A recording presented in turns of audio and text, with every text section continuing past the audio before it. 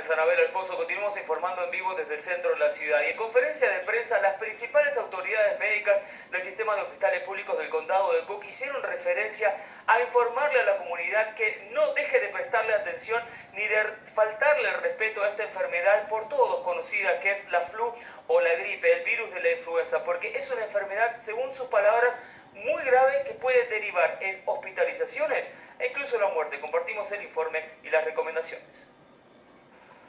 Hace 40 días que más y más personas contraen el virus de la influenza o flu en el condado de Cook, según datos oficiales. El director médico del sistema de salud del condado asegura que las familias deben concientizarse del peligro que puede derivarse por contraer ese virus.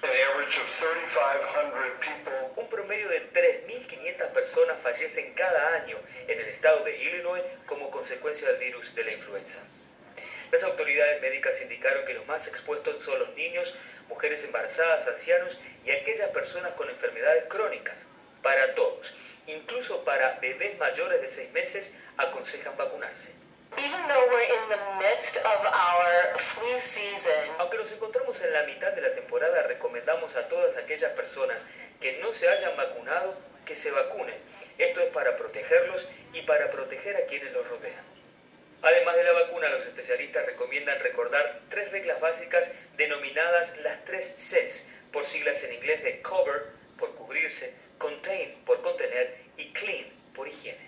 Primero, cubra su tos, por favor. Eso se llama etiqueta al toser. Eh, el segundo es, por favor, contenga su enfermedad estando en casa cuando está enfermo y lave las manos, frecuentemente utilizando agua y jabón.